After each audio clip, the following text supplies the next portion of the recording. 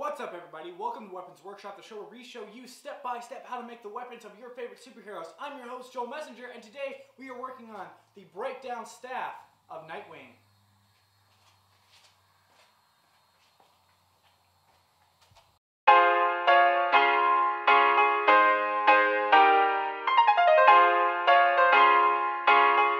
Today we're going to be building Nightwing's staff that breaks down into his sticks. With the trademark black and blue and non-lethality, we'll be showing you how to make a staff just like his.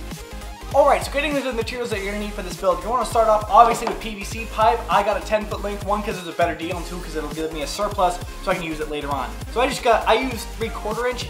Regardless, it doesn't really matter what size you use. You're also going to want a slip coupling for this. You're going to want paint colors that you're going to use. I have black and blue, obviously, for Nightwing. PVC cement, something to cut PVC with. I'm using these leaf trimmers, but you can also use PVC cutters specifically, or even a hacksaw. It doesn't need to be a specific cut. You're going to need electrical tape, a hammer, sand, and a way to funnel sand into the PVC pipe. You're also going to need scrap wood. As far as tools go, you're going to need a bandsaw or a scroll saw, and you're going to need a sander.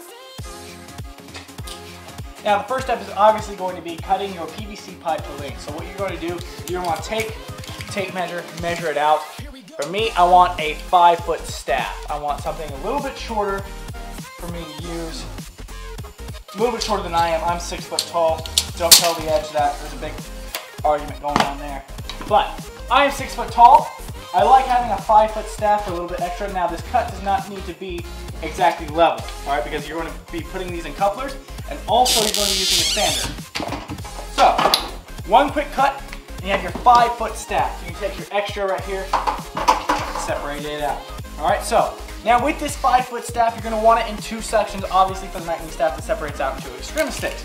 So go ahead and take your tape measure, mark it in the middle. I got five feet. So I'm looking for a 30 inch mark. And here it is right there. Go ahead and mark that with this.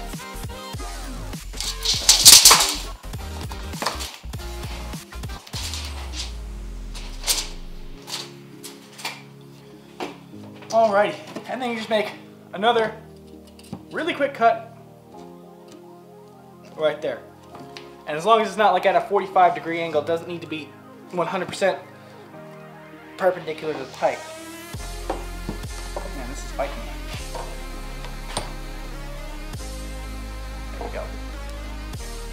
There it is.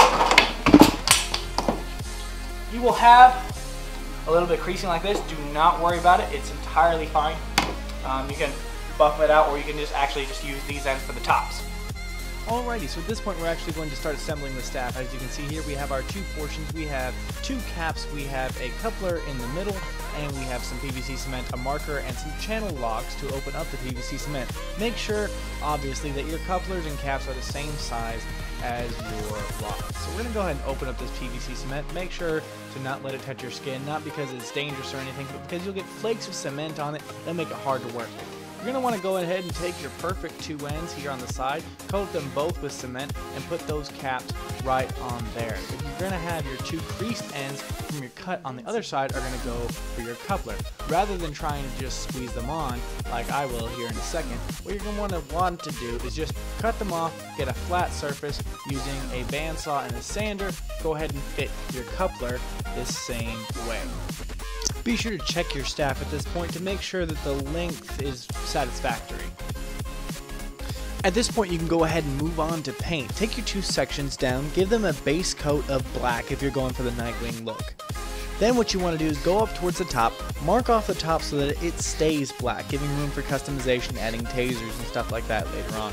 Then take 6 inches down from it, paint it blue. That way, one fifth of each of your 38 inch sections is blue. Gives it kind of that Nightwing dynamic ratio of blue to black. Be sure to use paint that is good for painting on plastics, wood, and great for outdoors. Be sure to give it plenty of time to dry or you'll have a tacky, sticky grip to it there at the end. Alright, so what you want to do is take a side, a piece of your pipe around the same size, Get it short enough you can fit a pencil in it. Put it on a piece of scrap wood that you don't really care about. Run a circle around it so you have a circle around the inside diameter of your pipe. Then take a scroll saw or a bandsaw, really whatever you prefer, cut out the circle. You want to leave it to where it's got a little bit of a concave to where it contains mostly the shape of a cork. It's essentially going to act like a cork on the inside of your um, sticks, right there on the end where the coupler goes. This way, it'll be plugged in and it will hold all the weight of your sand in. It's really important that you have it cork shaped because it's going to compress the sand within the Eskrima stick. The issue if you don't have it cork shaped is that it's going to one, slide around, two, it's going to be dependent entirely upon the PVC cement to hold it in, and number three, it's just not going to get the compression of sand that you want. Without that compression, it's going to be sliding around and it's going to be end up being too much like a blackjack because as you walk around with it at night, as you walk around with it anywhere really, you're going to get this rattle. It's going to sound like a gigantic baby rattle. Anyway, once you cut out your corks, you want to sand them on a belt sander until they are smooth. Once again, if you have any flat sides, have any areas where sand could slip through, it's going to be a problem. PVC cement should seal small areas, so it doesn't need to be absolutely perfect as a circle, but it does need to be pretty good, enough to hold in sand with the help of cement. Anything that ha doesn't have to be held up with cement is good. So after this, you want to go ahead and take it out. It's already been painted at this point, so what you can do is go out and pull the staff apart. Whichever side comes out is your weaker connection. Put PVC cement on that side, plug it back in, only on that side. That way your weaker side will be holding the coupler with the cement, while your stronger side will be connected with the staff. So, from this point, once you have your connection and your PVC cement is dried, you want to go ahead and take some sand get your sand. I use paver sand because it's a lot heavier, it gives it a lot more weight. You also want to get like a metal rod for tamping it in. Go ahead and separate your staff. Your paint might be a little sticky at this point, but it doesn't really matter. Take your funnel, or in my case, a brisk iced tea bottle, upside down and cut in half. Put it up in your device, and obviously just handful at a time, fill up your uh, iced tea bottle.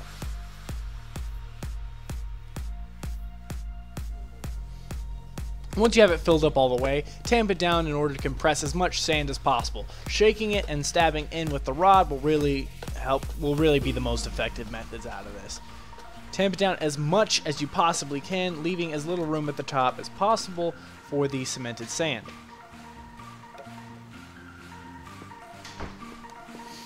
At this point you want to pour a little bit out as this is the end with the coupler you're not going to have as much space for the cork. You got to get a little bit more sand out in order for the cork to fit. Now at this point you want to place the cork in and tamp it in with your rod. I had a little bit too much sand in mine the first time so I had to pour it out, readjust, shake the sand down a little bit. Then what you want to do is take your PVC cement once again, do it once around your wooden quote unquote cork place it back inside your pipe. Then with your tamping rod, take it back up and hammer it back in, all the way down until it's flush with the top of the pipe. You then want to take the PVC cement, and drip it in to create a layer of cement on the top, once again to fill in any gaps that might be created by a lopsided cork. Especially if you're making a method with like a scroll saw and a sander, you're going to have some gaps in there.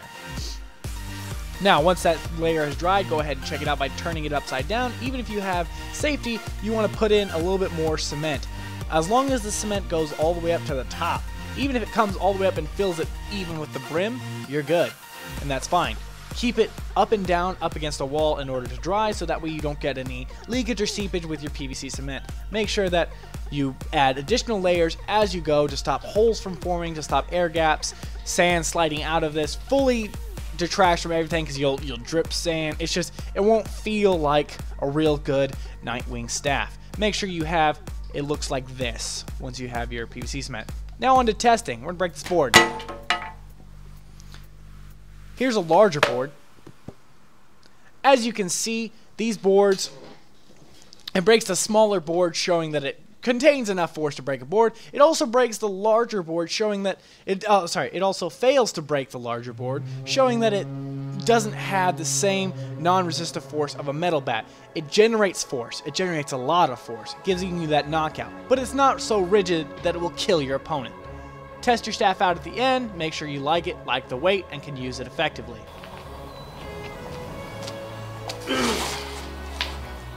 Alright guys, well that's all I have for the Nightwing staff. I am really, really pleased with this. It turned out super, super well. Like it's this this weight, I use paver sand, so it's quite a bit heavier. That weight really just sinks out there to the end and packs a real punch. It was you saw that. It was breaking boards and it was impacting the, that metal equipment.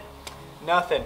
Nothing. No deformation, no breaking, no nothing. Really, really strong because all that force on the impact goes through that sand and is dissipated so it stops it from breaking. I really think this is going to be more towards, um, effect-wise, more accurate towards the Nightwing staff because you're going to get impact, you're going to get a lot of force, you're going to get knockouts, you're going to get bruised and broken ribs, but you're not going to get skull fractures because, like I said, you got a natural bend of that PVC, you got weight of that sand, so you have force enough to cause that unconsciousness, but not rigidity enough to kill. Um, I really enjoyed this, so I hope you liked it. Leave me a comment giving me the next weapon to build. Um, every weapon that I build will end up in a How to Hero episode later on. So stay tuned this week for the uh, How to Hero for Nightwing, where you'll see the Edge teach you how to fight like Nightwing in live action using this staff. Um, so, you know, any any uh, weapon you suggest should go towards a hero we've already done a fight like over, and hopefully you'll see it up here on the channel. I really enjoyed this. I hope you did too. I'm Joel Messenger. This is Weapons Workshop, and I'll see y'all later.